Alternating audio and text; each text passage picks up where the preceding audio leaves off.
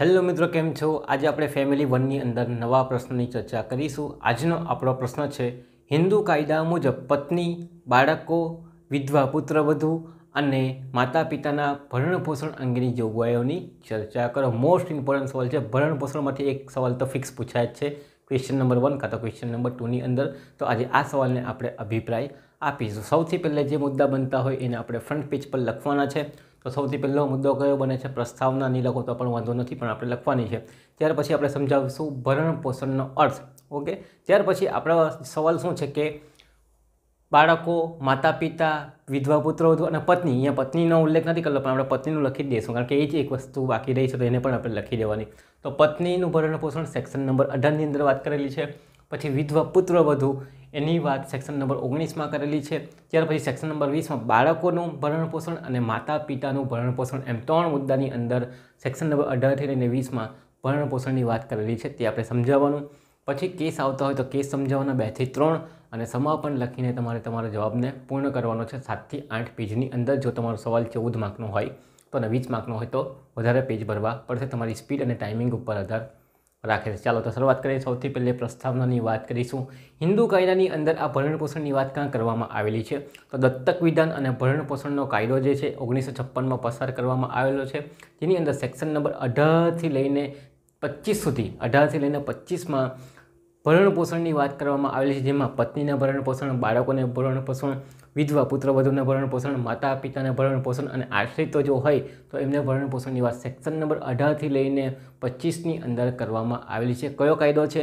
તો હિન્દુ દત્તક વિધાન અને ભરણપોષણ ધારો ઓગણીસો છપ્પનની અંદર આની વાત કરવામાં આવેલી છે. તો એ સમજાવવાનું કે સેક્શન નંબર અઢારથી લઈને વીસની અંદર આપણા બાળકોની વાત પુત્રવધુની વાત અને માતા પિતાની વાત કરવામાં આવેલી છે કે જ્યારે ક્યારે ક્યારે એમને ભરણ પોષણ મળવા પાત્ર થાય અને ક્યારે ક્યારે માંગી શકે. એ અંગેની બધી વાત સેક્શન નંબર અઢાર અને વીસમાં છે. પણ આમ જોવા જાય તો સેક્શન નંબર અઢારથી લઈને પચીસ સુધી ભરણ પોષણની વાત કરવામાં આવેલી છે. તો એ લખવાનું છે. ત્યાર પછી આપણે થોડીક સેક્શન પણ લખીશું અહીંયા, સમજાવી દઈશું. બરાબર? એ પછી જોઈએ આવે ત્યારે. પણ આટલું તમારે પ્રસ્તાવનાની અંદર ફ્રેમ કરવાનું છે. ઓકે, તો લખી દઈશું પ્રસ્તાવનાની અંદર કે હિન્દુ કાયદામાં દત્તક વિધાન અને ભરણ પોષણ ધારો ઓગણીસો છપ્પનમાં સેક્શન નંબર અઢારથી પચીસ અથવા તો સેક્શન નંબર અઢારથી વીસમાં પત્ની, બાળકો, વિધવા પુત્ર, વધુ, માતા, પિતા અંગેના ભરણ પોષણ ક્યારે કેવી રીતે કોને મળશે એ અંગેની જોગવાઈ કરવામાં આવેલી છે, જેની ચર્ચા નીચે મુજબ છે. આ રીતે તમારે પ્રસ્તાવના ફ્રેમ કરવાની છે. હવે આપણે ભરણ પોષણની વાત કરીશું. ભરણ પોષણનો અર્થ. ભરણ પોષણ એટલે શું? જ્યારે કોઈ વ્યક્તિ પાસે પોતાના ભરણ પોષણ કરવા માટેના સાધનો હોય, એ વ્યક્તિ કેવો હોય? અશક્ત હોય. તેવા સંજોગોની અંદર નજીકના સગા અથવા તો હિત ધરાવતા વ્યક્તિ પાસેથી જે રકમ માંગશે, તેને શું કહેવામાં આવશે? ભરણ પોષણ તરીકે ઓળખવામાં આવે. તો જ્યારે કોઈ વ્યક્તિ અશક્ત હોય, પોતાનું ભરણ પોષણ કરી શકે તેવી એની કન્ડિશન ન હોય, એની પાસે આવકનો કોઈ સાધન ન હોય, તેવા સંજોગોની અંદર તે નજીકના હિત ધરાવતા સગાવાલા અથવા તો વ્યક્તિ પાસેથી જે રકમ માંગશે એને ભરણપોષણ તરીકે ઓળખવામાં આવે છે. ઉદાહરણ તરીકે, પત્ની પતિ પાસેથી ભરણપોષણ માંગી શકે બાળકો એના પિતા પાસેથી ભરણપોષણ માંગી શકે માતા પિતા એના પુત્ર પાસેથી ભરણપોષણ માંગી શકે છે. તો આ નજીકના હિત ધરાવતા સંબંધીઓ થયા છે. આ રીતે તમારે ભરણપોષણનો અર્થ સમજાવવાનો. હવે આપણે મેન મુદ્દાની વાત કરીશું. બનાવવાનું છે. સૌથી પહેલો મુદ્દો બનાવશું પત્નીને ભરણ પોષણ સેક્શન નંબર અઢારની અંદર પત્નીને ક્યારે ક્યારે ભરણ પોષણ મળશે, કેટલું ભરણ પોષણ મળશે, કઈ કઈ સંજોગો મળશે, એ અંગેની વાત સેક્શન નંબર અઢારમાં કરવામાં આવેલી છે. પતિ ક્યારે ભરણ પોષણ માંગી શકશે, કોની પાસે માંગી શકશે, કઈ કન્ડિશનમાં માંગી શકશે, એ અંગેની વાત સેક્શન નંબર અઢારમાં કરવામાં આવેલી છે. હવે આપણે એના થોડા ઘણા મુદ્દા બનાવશું. કયા કયા મુદ્દા બનાવવાના? પહેલું ભરણ પોષણ કોની પાસે માંગી શકે? પત્ની કોની પાસે ભરણ પોષણ માંગી શકે? પહેલો મુદ્દો. બીજો મુદ્દો પત્ની ક્યારે ભરણ પોષણ માંગી શકે, કઈ કન્ડિશનમાં માંગી શકે, એની વાત છે. પછી ક્યારે ભરણ પોષણ ન મળે. ત્રીજો મુદ્દો, ત્યાર પછી ભરણ પોષણની ગણતરી કેવી રીતે થાય, તેની આપણે વાત કરીશું. તો આ રીતે તમારે શું કરવાના મુદ્દા બનાવવાના? દરેકની જ્યારે બાળકોની વાત કરશું, વિધવાની વાત કરીશું માતા પિતાની વાત કરું દરેકમાં તમારે આ મુદ્દા બનાવવાના. ઓકે? તો પહેલાં મુદ્દાને ઓકી કાઢવાના. તો સૌથી પહેલો મુદ્દો પત્ની ક્યારે ભરણ પોષણ માંગી શકે, કોની પાસે માંગી શકે? તો અહીંયા પત્ની કોની પાસે ભરણ પોષણ માંગી શકે?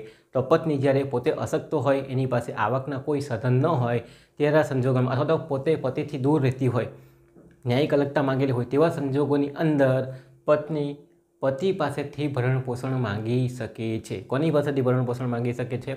પતિ પાસેથી ભરણ પોષણ માંગી શકે છે. તો આવું તમારો નંબર વન લખવાનું, પતિ પાસેથી ભરણ પોષણ ક્યારે પોતે અશક્ત હોય અથવા તો ન્યાયિક અલગતા અથવા તો કોઈ કારણોસર એ છૂટી રહેતી હોય પોતાના ઘરથી અથવા તો પતિથી, તેવા સંજોગોની અંદર પતિ પાસે ભરણ પોષણ માંગી શકે છે. નેક્સ્ટ બીજો મુદ્દો લખવાનો. જ્યારે પતિનું અવસાન થઈ ગયેલું હોય તો કોની પાસે ભરણ પોષણ માંગશે? જ્યારે પતિનું અવસાન થઈ ગયેલું હોય ત્યારે સસરા પાસેથી શું કરી શકે છે? પિતા એટલે કે સસરા પાસેથી ભરણ પોષણ માંગી શકે છે. ક્યારે?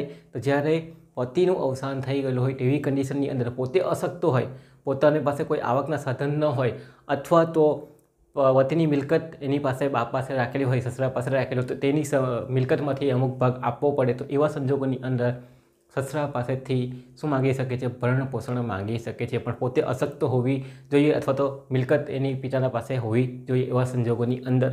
તો બે સંજોગોની વાત કરવાની, કોની પાસે માંગી શકે પત્ની? એક તો પતિ પાસે માંગી શકે છે અને બીજું સસરા પાસેથી માંગી શકે છે. એની વાત તમારે લખવાની રહેશે. ચાલો, હવે ક્યારે ભરણ પોષણ માંગી શકે છે? એમને એમ તો માંગે નહીં, બરાબર ભરણ પોષણ માંગ, ઘર સાથે રહેતો હોય તો ભરણ પોષણ આપવાની કંઈ જરૂરત જ નથી. જો પત્ની અલગ રહેતી હોય તો જ ભરણ પોષણ આપવા પડે અને એવા સંજોગ ક્યારે ઊભા થાય? કે બંને વચ્ચે ફાઇટ થયેલી હોય, લડાઈ થયેલી હોય, તેવા સંજોગો તો કયા કયા સંજોગો છે એ તમારે અહીંયા લખવાનું. ક્યારે ક્યારે ભરણ પોષણ માંગે એવી કન્ડિશન તમારે લખવાની. તો સૌથી પહેલે વ્યાજબી કારણ વગર ત્યાગ કરેલો હોય, પતિએ પત્નીનો ત્યાગ કરેલો હોય, દૂર રહેતો હોય, જાણી જોઈને. બરાબર ને? તો ત્યારે શું કરશે? તો વ્યાજબી કારણ વગર ત્યાગ કારણ હોય તો કંઈ વાંધો નથી કે ભાઈ કોઈ રોગથી હોય એવું કહીને અલગ રીતે હોય તો વાંધો નહીં પણ વ્યાજબી કારણ વગર પતિ એ ત્યાગ કરી દીધેલો હોય પત્નીનો ત્યારે પત્ની ભરણ પોષણ માંગી શકે છે. પતિ પાસેથી બીજી મુદ્દાની વાત કરશું. ઉપેક્ષા કરે. ઉપેક્ષા કરે મીન્સ કે કોઈ પણ અધિકાર ભોગવવાના એઝ અ વાઇફ તરીકે દૂર રાખવાની કોશિશ કરે. તો ઉપેક્ષા કરતો હોય પત્નીની પતિ. ત્યારે પણ પત્ની ભરણ પોષણ માંગી શકે છે. ક્રૂરતા કરે. આપણે જોઈએ આજે છૂટાછેડાના અંદર માનસિક ક્રૂરતા, શારીરિક ક્રૂરતા અને કાયદાકીય ક્રૂરતા તો આ ત્રણ ટાઈપની જો ક્રૂરતા કરતો હોય વારંવાર જેનાથી સાથે રહેવાનું હાનિકારક બની જતું હોય, શારીરિક ક્રૂરતા કરે, મારતો હોય તો પછી પત્ની ઓટોમેટિક ભાગી જ જતી હોય તેવા સંજોગોમાં પછી કેવી રીતે જીવવાની? તો ભરણું પોષણ તો માંગશે તો ક્રૂરતા કરે અને સાથે રહેવું મુશ્કેલ બની જતું હોય, હાનિકારક બની જતું હોય તેવી સંજોગોની અંદર પણ પત્ની શું કરશે? ભરણ પોષણ મેળવવા પાત્ર બને. એટલે ત્યારે એને ભરણ પોષણ આપવા પાત્ર બની જતું હોય. ત્રીજો મુદ્દો ચોથો પત્નીને પતિને રક્તપિત્ત કોઈ રોગથી પીડાતો હોય, પતિને રક્તપિત્તનો રોગ થયો હોય તેવા સંજોગોની અંદર પણ શું કરવામાં આવશે? ભરણ પોષણને પાત્ર બને છે પત્ની. બીજું, અન્ય જાતીય રોગથી પીડાતો હોય, એની પણ આપણે છૂટાછેડાની અંદર વાત કરેલી કે અન્ય જાતીય રોગ, કયા કયા જાતીય રોગ છે? તો એડ્સ છે, બરાબર? ગાનોડિયા ટાઈપના જે રોગ છે, એનાથી પીડાતો હોય, તો ત્યારે પણ શું કરી શકે? છૂટાછેડાના કારણોના સંજોગમાં એ ભરણ પોષણ માંગી શકે. જો જાતીય રોગથી પીડાતો હોય ને સાથે રહેવું મુશ્કેલ બની જતું હોય તેવા સંજોગોની અંદર. પછી પતિ ધર્મ પરિવર્તન કરી દે અથવા તો સંસારનો ત્યાગ કરી દે તેવા સંજોગોની અંદર પણ શું કરવામાં આવે તો ભરણ પોષણ મળશે. કોને? પત્નીને. પતિ જતો રહે, સંન્યાસી બની જાય. તેવા સંજોગોની જે મિલકત છે એની હોય તો પછી ભરણ પોષણ કોણ કરશે? તો એવા સંજોગોમાં પણ ભરણ પોષણ મળે છે. કોને? તો વાઈફને મળશે. સંસારનો ત્યાગ કરે અથવા અન્ય રખાત રાખે, બીજું લગ્ન કરે. કોઈ બીજી સાથે અફેર રાખતો હોય, રખાત રાખતો હોય અથવા તો બીજું લગ્ન કરી દેતો હોય એવા સંજોગોની અંદર પણ ભરણ પોષણ મળવા પાત્ર બને છે. તો ત્યારે વાઈફ અલગ જતી રહેતી હોય, આવા કારણોસર અલગ રહેતી હોય, પોતાના ઘરે રહેતી હોય અને પોતાની પાસે કોઈ મિલકત આવા કે નોકરી નહીં કરતી હોય, એવા સંજોગોની અંદર ભરણ પોષણ મળવા પાત્ર રહેશે. કોને? એઝ અ વાઈફને અને બીજું મેં તમને કહી ગયો છે કે સસરા પાસે પણ મિલકતમાં માંગ કરી શકે જો પતિનું અવસાન થઈ ગયેલું હોય તેવા સંજોગોની અંદર. ઓકે, તો આવા આવા સંજોગ હોય, પતિનું અવસાન થઈ ગયેલું અને પોતે એની પાસે આવકના કોઈ સાધન નહીં હોય, પુત્રને પાડવાનો હોય અથવા તો પોતે એટલી કેપેબલ ન હોય કે આવક કમાઈ શકતી હોય તેવા સંજોગોની અંદર સસરાની મિલકતમાંથી અથવા તો પતિની મિલકતમાંથી એ શું કરી શકે? ભરણ પોષણ માંગી શકે છે. તો એ તમારે અહીંયા લખવાનું. તો પહેલું આપણે સમજાવ્યું કોની પાસેથી માંગી શકે? પતિ અને સસરા પાસેથી ક્યારે મળે તો આવા આવા કન્ડિશનની અંદર મળે છે? ક્યારે ન મળે? ચાલો, તો પત્ની બીજું લગ્ન કરી લેતી હોય, બરાબર ને? પતિ ઓફ થઈ જાય, પછી બીજું લગ્ન કરી લે તો ન મળે. સસરો એને માટે જવાબદાર બનતો નથી. અથવા તો પતિ બી જવાબદાર બનતો નથી. સિમ્પલ લખી દેવાનું. ક્યારે ન મળે તો બીજું લગ્ન કરી દે. ત્યારે અથવા તો ધર્મ પરિવર્તન કરી દેતી હોય તેવા સંજોગોની અંદર એને ભરણ પોષણ મળવા પાત્ર રહેતું નથી. ચાલો હવે ભરણ પોષણની ગણતરી. ભરણ પોષણની ગણતરીમાં શું ધ્યાનમાં રાખવાનું? એક તો પત્ની તરફથી અરજી કરવામાં આવે. એના અંદર શું શું ધ્યાનમાં લેવામાં આવે? તો પત્ની જ્યારે અરજી કરે ત્યારે ભરણ પોષણની અંદર ખોરાક, રોટી, કપડાં, મકાન, બરાબર ને? તો ખોરાકની વાત હોય, કપડાંની વાત હોય, રહેઠાણની વાત હોય ત્યાર પછી શિક્ષણની વાત હોય, તબીબી સારવારની વાત હોય, એવી સેવા એનો ખર્ચ આપવા માટે કહેવામાં આવેલો તો ભરણ પોષણની અરજીમાં આવા ખર્ચ મળવાપાત્ર હોય. કોને? તો જે પત્ની હોય તેને તો આટલી રકમ એ માંગી શકે શાની રકમ માંગી શકે, ખોરાકની રકમ માંગી શકે, કપડાની રકમ માંગી શકે, રહેઠાણની રકમ માંગી શકે, તબીબી સારવારની રકમ માંગી શકે, શિક્ષણની રકમ માંગી શકે છે. એમ કરીને ટોટલ કરશે અને પછી એ સાંભળવાળાને કહેશે કે ભાઈ, મને આટલી જરૂરિયાત છે, આટલી મારી જરૂરિયાત છે, તમારે પૂરી પાડવી પડશે તો એ પ્રમાણે પછી થાય. ઓકે અને પછી શું થાય તો જજ પાસે અરજી આવે, જજ શું કરશે?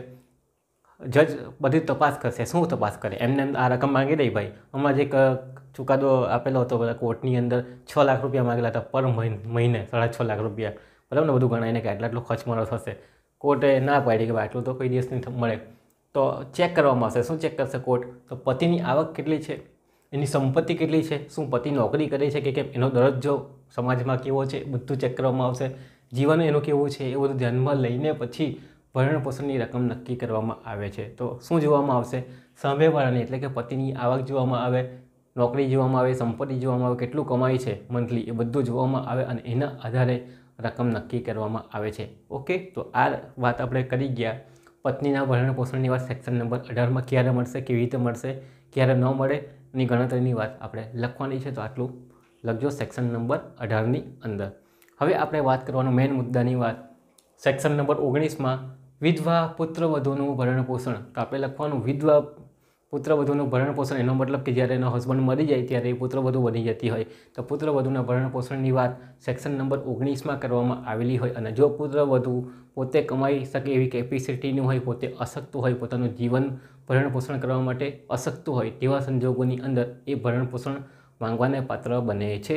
ઓકે એની વાત સેક્શન નંબર અઢારમાં કરવામાં આવેલી એને ક્યારે ભરણ પોષણ મળશે? કયા સંજોગોની અંદર મળશે? એ બધી વાત સેક્શન નંબર આની અંદર તો ઓગણીસની અંદર સોરી અઢાર નહીં પણ ઓગણીસની અંદર કરવામાં આવેલી છે. જેની ચર્ચા નીચે મુજબ છે. એ રીતે તમારે ફ્રેમ કરવાનો. પહેલો મુદ્દો બનાવશું કે વિધવા પુત્ર વધુ કોની પાસેથી ભરણ પોષણ માંગી શકે છે? તો વિધવા પુત્ર વધુ એના સસરા પાસેથી શું કરી શકે? ભરણ પોષણ માંગી શકે છે. બીજો તો કોઈ ઓપ્શન નથી, કારણ કે પતિ તો મરી ગયો હોય. અને પતિની જો મિલકત હોય તો એમાંથી એ ભરણ પોષણ માંગી શકે. અને પતિની મિલકત કોના ભાગે જાય? સસરાના હાથમાં જ હોય, પિતાના હાથમાં જ હોય. તે એવા સંજોગોની અંદર સસરા પાસેથી શું કરશે? ભરણ પોષણ માંગશે, ક્યારે માંગે, તો એની વાત આપણે કરવાની. ચાલો, તો ક્યારે મળે? જ્યારે પોતાની આવક, મિલકત ભરણ પોષણ કરવા માટે અસમર્થ હોય, તો પોતાની આવક જે છે, પોતાની પાસે જે મિલકત છે, પોતાની પાસે જે સંપત્તિ છે, એ ઇનફ ન હોય, એની પાસે ઓછી હોય, અસમર્થ હોય એની પાસે, હોતી જ નથી. તો તેવા સંજોગોની અંદર એ શું કરશે? પતિ, પુત્ર કે પુત્રી તેની સંપત્તિમાંથી ભરણ પોષણ કરવા અસમર્થ હોય તેવા સંજોગોની બે સંજોગોની વાત છે. એક તો મિલ, પોતાની પાસે જે મિલકત હોય એ એ વાપરવા માટે અસમર્થ બની જતી હોય, એના પાસે એટલા પૈસાની હોય આવકની હોય સંપત્તિની હોય. પ્લસ પતિ, પુત્ર કે પુત્રીની પણ જે સંપત્તિ હોય, એમાંથી પણ એ ભરણ પોષણ ન કરી શકતી હોય. એવા સંજોગ જો એની પાસે ઊભા થયેલા હોય, તો પુત્ર વધુ જે વિધવા છે, એ સસરા પાસેથી શું કરી શકે છે? તો ભરણ પોષણ માંગી શકે છે, એ તમારે ધ્યાનમાં રાખવાનું. તો ક્યારે ક્યારે માંગતા તો આ બે કન્ડિશનમાં માંગશે જે વાઈફની કન્ડિશન હતી તેવી જ કન્ડિશન છે. ઓકે તો એ ધ્યાનમાં રાખવાનું છે કે એ પોતાનું જીવન ભરણ પસંદ કરવા માટે કેવી હોય, અશક્ત હોય તેવી કન્ડિશનની અંદર એની પાસે એટલી સંપત્તિ ન હોય ત્યારે અને જો પતિ કોઈ સંપત્તિ મૂકીને ગયા હોય અને જે સસરાના કબજામાં હોય સમાસિત મિલકત હોય એક સાથે જોડાયેલી હોય, તેવા સંજોગોની અંદર એ ભરણ પોષણ સસરા પાસેથી માંગી શકે છે. તો આટલી ત્રણ કન્ડિશન તમારે યાદ રાખવાની છે કે ક્યારે ક્યારે એને મળે છે. તો મુદ્દા વાઇઝ અલગ અલગ લખવાનું. મેં અહીંયા બધું હાથે લખેલું છે. તમારે અલગ અલગ અલગ પોઈન્ટથી સમજાવવાનું છે. ઓકે? ચાલો. પુત્ર વધુને ક્યારે ન મળે ભરણ પોષણ ક્યારે જવાબદાર નથી લેવા માટે?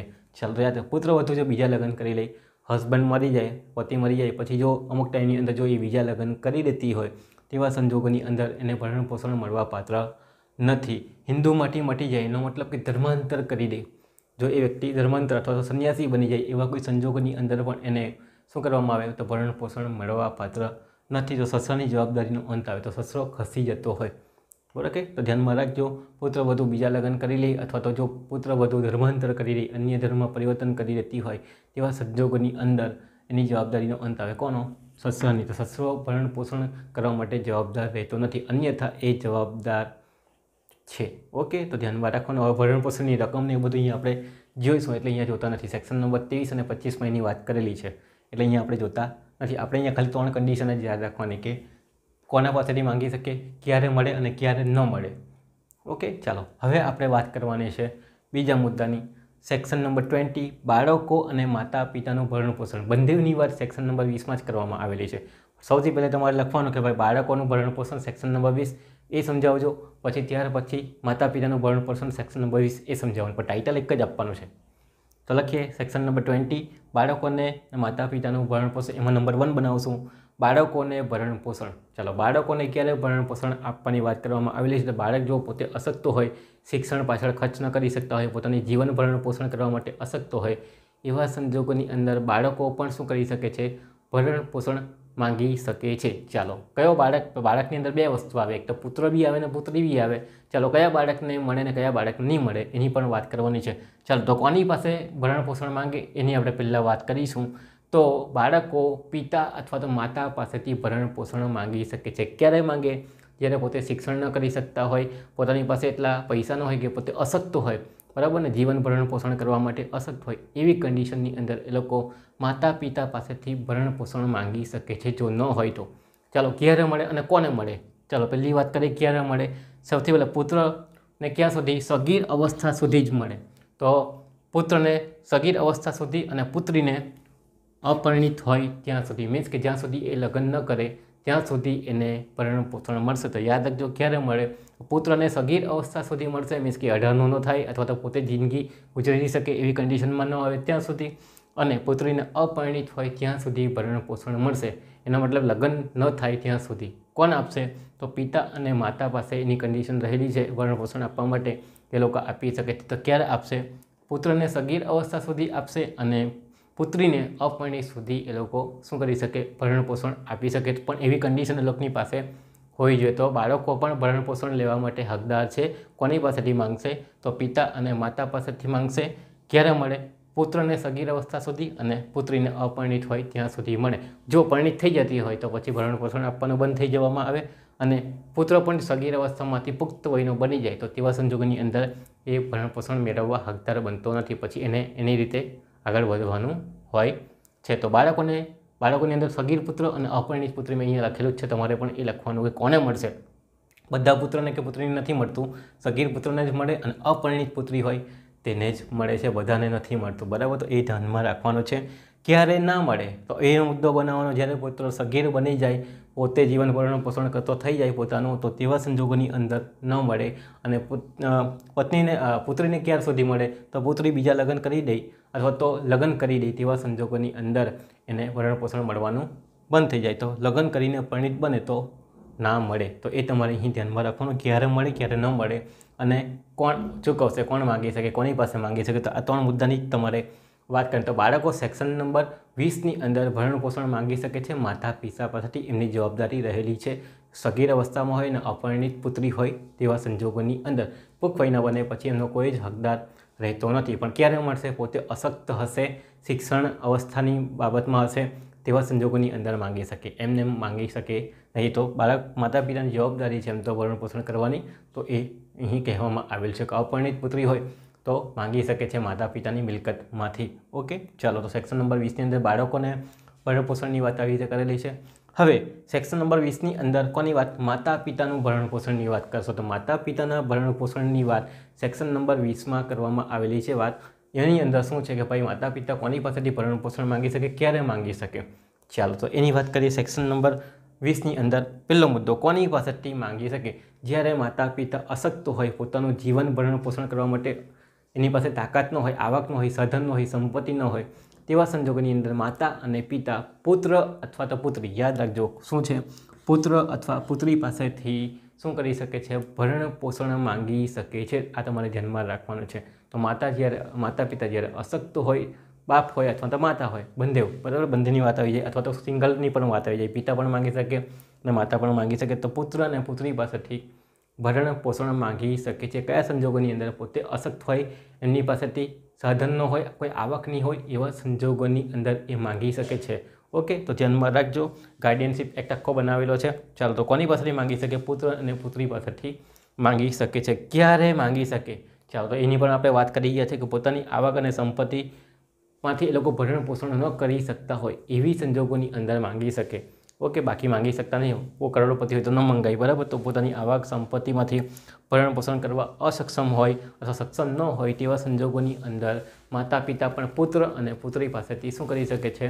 તો ભરણ પોષણ માંગી શકે છે. ચાલો સમય મર્યાદા કેટલી છે? તો આજીવન જ્યાં સુધી માતા પિતા ઓફ ન થઈ જાય તેવા સંજોગોની અંદર આજીવન સુધી એમને ભરણ પોષણ મળવાપાત્ર રહે. અહીંયા કેવી કન્ડિશન હતી? પુત્ર સગીર અવસ્થામાં પહોંચે, પુત્રી અપરિણિત બની જાય તેવા સંજોગોને ભરણ પોષણ બંધ થઈ જાય. માતા પિતાને તો આજીવન ભરણ પોષણ મળે છે? તો ધ્યાનમાં રાખજો માતા પિતાનું ભરણ પોષણની વાત સેક્શન નંબર વીસમાં કરવામાં આવેલી છે. કોની પાસેથી માંગશે?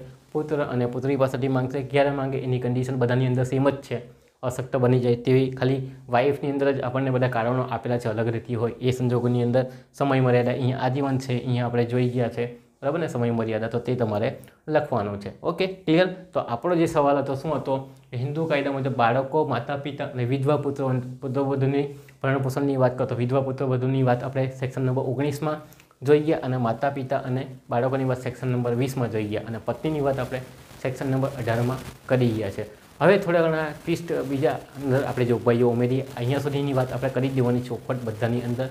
હવે આપણે યાદ રાખવાનું છે સેક્શન નંબર ત્રેવીસ કે ભરણપોષણની કાર્યવાહી ક્યાં થાય.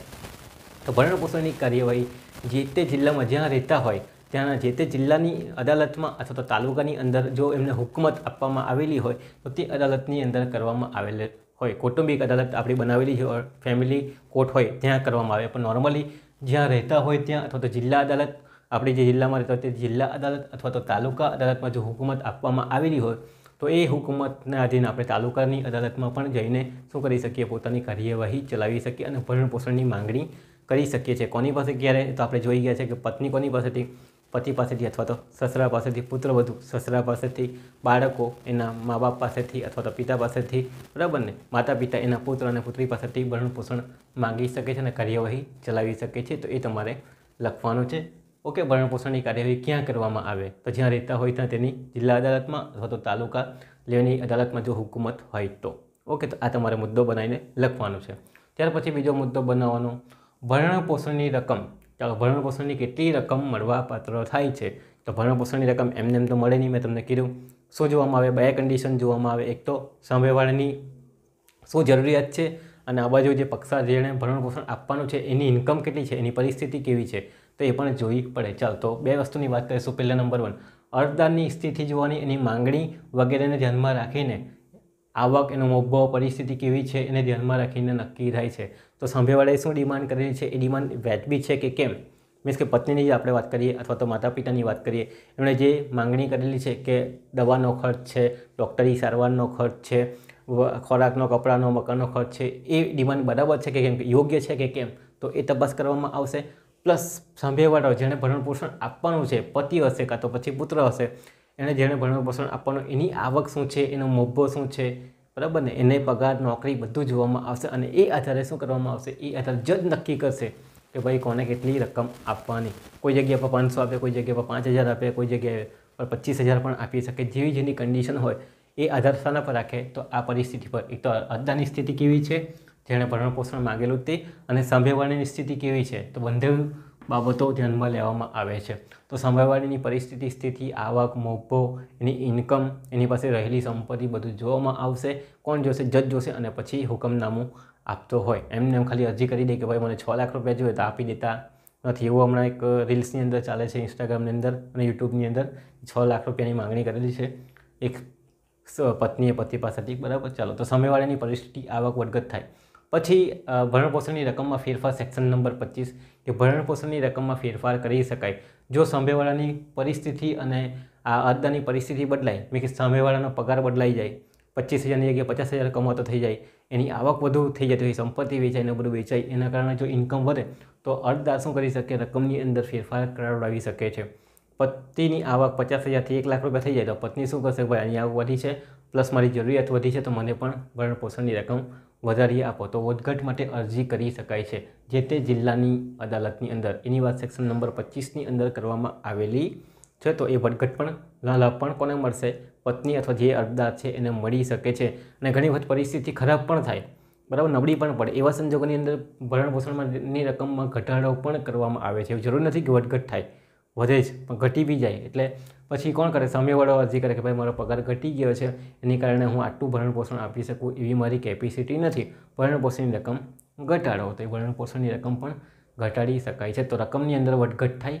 એની વાત સેક્શન નંબર પચીસની અંદર ભરણપોષણની રકમની વાત એ સેક્શન નંબર ત્રેવીસની અંદર કરવામાં આવેલી છે. તો આટલી વાત થાય ભરણપોષણની અંદર તે તમારે લખવાની છે. હવે આપણે મેન મુદ્દા પર આવીએ. કેસ કેસ તમારે બતાવવાના છે બેથી ત્રણ. તો અહીં આપણે બે કેસની વાત કરીએ. પછી સમાપન લખીને વાતને પૂર્ણ કરવાની રહે છે. તો અપ્પીબાઈ વર્સિસ ખીમજી કુંવર. અપ્પીબાઈ વર્સિસ ખીમજી કુંવર. કેસનો વર્ષ નથી આપેલો. ઓકે? તો લખેલો નથી આપણે બુકની અંદર. અપ્પીબાઈ વર્સિસ ખીમજી કુંવરનો કેસની અંદર શું થાય? તો પત્ની પાસે મિલકત હોય તો પણ ભરણ પોષણ મેળવવા માટે હકદાર છે. અદાલત હકીકતને ધ્યાનમાં લઈને ત્યારબાદ હુકમનામું આપતી હોય. તો મેં તમને અહીંયા કહી ગયો મેન ચુકાદો છે કે પત્ની પાસે પોતાની મિલકત હોય, છતાં પણ એ પતિ પાસેથી શું માંગી શકે છે? ભરણ પોષણ લેવા માટે હકદાર છે. પણ ભરણ પોષણ જ્યારે આપે ત્યારે શું કરવામાં આવશે? જજ છે. અદાલત શું કરશે? હકીકત તપાસશે કે ભાઈ ખરેખર એની મિલકત કેવી છે અને શું છે? બધું જોશે અને ત્યાર પછી હુકમનામું કરે. એ તો ઓલરેડી આપણે અહીંયા કીધું જ છે. કે અત્યારે પરિસ્થિતિ જોઈને બધું પછી હુકમનામું કરતો હોય એમને હુકમનામું કરતા ન હોય, ભરણ પોષણનું. તો આ કેસની અંદર યાદ રાખજો અપ્પીબાઈ વર્સિસ ખીમજી કુંવરના કેસની અંદર કહેવામાં આવેલું છે, પત્ની પાસે મિલકત હોય, તો પણ પત્ની ભરણ પોષણ માંગવા માટે હકદાર છે અને અદાલત શું કરશે? હકીકત ધ્યાનમાં લેશે, બધું તપાસ કરશે અને પછી હુકમનામું આપતું હોય છે. ઓકે, તો ધ્યાનમાં રાખજો, ભલે ને પેલી કમાતી હોય, સંપત્તિ હોય, તો પણ ભરણ પોષણ તો આપવા જ પડે, એ વાત અહીંયા આ કેસ ઉપરથી સાબિત થાય છે. નેક્સ્ટ બીજા કેસની વાત કરીએ. શ્રીમતી સર્વેદેવી વર્સિસ લશ્કરી, ઓગણીસો ચોર્યાસીનો કેસ છે. શું નામ છે? શ્રીમતી સર્વેદેવી સર્વેદેવી વર્સિસ લશ્કરી, એવું નામ આપવામાં આવેલ છે બુકની અંદર. ઓગણીસો ચોર્યાસીનો કેસ છે. એની અંદર શું હતું? નીચલી અદાલતે પત્ની વ્યભિચારી હોવાના કારણે પતિને છૂટાછેડા આપેલા. હવે છૂટાછેડા એ એના માટે ભરણ પોષણ આપવાનું કે નહીં આપવાનું? આપણે તો આગળ પણ વાત કરી ગયા. છૂટાછેડા ભલે ના આપેલા હોય, પણ ભરણ પોષણ આપવા તો પડે જ. ઓકે, તો નીચલી અદાલતે પત્ની વ્યભિચારી હતી. એના કારણે છૂટાછેડા આપેલા અને ભરણ પોષણ નહીં આપેલું. ના પડી ગયા તો પત્ની તો વ્યભિચારી છે, તો એણે અપીલ કરી. અપીલ કરી ત્યારે શું સાબિત થયું કે ભલે તમે છૂટાછેડા આપેલા હોય, પણ આ કલમને આધીન છૂટાછેડા આપેલા હોય તો પણ ભરણ પોષણ મેળવવા માટે તો હકદાર છે જ. એને ભરણ પોષણ આપવું જ પડશે. સેક્શન નંબર આપણે અઢારની અંદર પત્નીના ભરણ પોષણની વાત કરેલી. તો નીચલી અદાલતે ભલે વ્યાભિચારી હોય ને છૂટાછેડા આપેલા અને ભરણ પોષણ નહીં આપેલું તો પણ એણે અપીલ કરી ત્યારે આ કલમ હેઠળ ભરણ પોષણ આપવાને પાત્ર બને છે. ભલેને વ્યભિચારી કેમ ન હોય, એના સંબંધ બીજા સાથે કેમ ન હોય, પણ ભરણ પોષણ તો આપવું જ પડે છૂટાછેડાના કિસ્સાની અંદર પણ. આ બે કેસ છે, એ તમારે લખવાનો. ત્રીજો કેસ તમારે જાતે શોધીને લખવાનો રહેશે. ઓકે, હવે આપણે સમાપન લખવાનું. સમાપનની અંદર આપણે શું લખીશું કે ભરણ પોષણ અંગેની જોગવાઈનો એક્ટ જે બનાવેલ છે ઓગણીસો છપ્પન, દત્તક વિધાન અને ભરણ પોષણનો કાયદો ઓગણીસો છપ્પનની અંદર બાળકોનું ભરણ પોષણ માતા પિતાનું ભરણ પોષણ પત્નીનું ભરણ પોષણ, વિધવા પુત્ર બધુનું ભરણ પોષણની વાત સેક્શન નંબર અઢાર અને પચીસમાં કરવામાં આવેલી છે. જેવી જેવી જેની પરિસ્થિતિ હોય તે મુજબ અદાલત શું કરશે? તપાસ કરશે અને પોતાનું ભરણ પોષણ કેટલું ચૂકવવું એ હુકમનામું આપતો હોય. તો જ્યારે તમને ભરણ પોષણ માંગવું હોય તો સેક્શન નંબર અઢારની જે જોગવાઈઓ છે એનું પાલન કરવું પડશે. અઢારથી લઈને પચીસની જોગવાઈનું પાલન કરવું પડે છે. એને ધ્યાનમાં લઈને તમે ભરણ પોષણ માટે અરજી જે તે જિલ્લા અદાલત અથવા તો તાલુકા લેવલની અદાલતમાં કરી શકો છો. ઓકે? તો જ્યારે આ સવાલ પૂછાય તો સૌથી પહેલે પ્રસ્તાવના, ત્યાર પછી તમારા ભરણ પોષણનો અર્થ. પછી પત્ની, વિધવા, બાળકો માતા પિતા ચાર મુદ્દા ચારે ચારના ભરણ વાત. એની અંદર પાછા સબ પોઈન્ટ બનાવવાના કે ભાઈ, શું બનાવવાનું, કોની પાસે ભરણ પોષણ માંગી શકે, ક્યારે માંગી શકે, ક્યારે ન માંગી શકે. એની રકમ આ ત્રણ ચાર મુદ્દા બનાવવાના છે. કોની પાસેથી માંગી શકે ખબર હોવી જોઈએ. લખી લેવાનું શોર્ટની અંદર. ઓકે? તો આ રીતે પછી કેસ લખવાના છે આ બે. બરાબર ને? અપ્પીભાઈ ખીમજી અને શ્રીમતી સર્વેદેવી વર્સિસ લશ્કરી. આ બે કેસ લખજો અને સમાપન લખીને વાત પૂર્ણ કરવાની છે. એકદમ ઇઝી સવાલ છે. આવડી જવો જોઈએ. નેક્સ્ટ સવાલ સાથે આપણે ફરી પાછા મળીશું. ત્યાં સુધી તમારો આભાર.